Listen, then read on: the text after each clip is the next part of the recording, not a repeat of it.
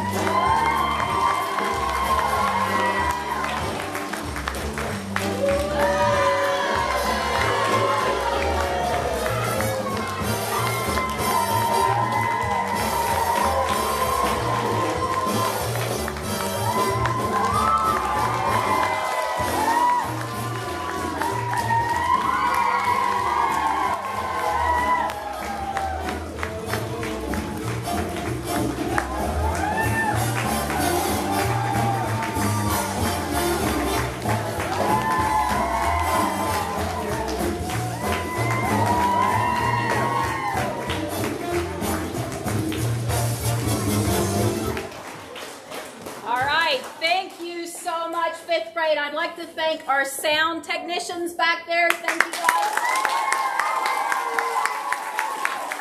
I'd like to thank uh, Miss Stephanie King. She may be in her classroom. I don't think she's in, in here. She's busy teaching, but she helped with all of the sets and the costumes and. I'd like to thank the fifth grade teachers for their support with all of this.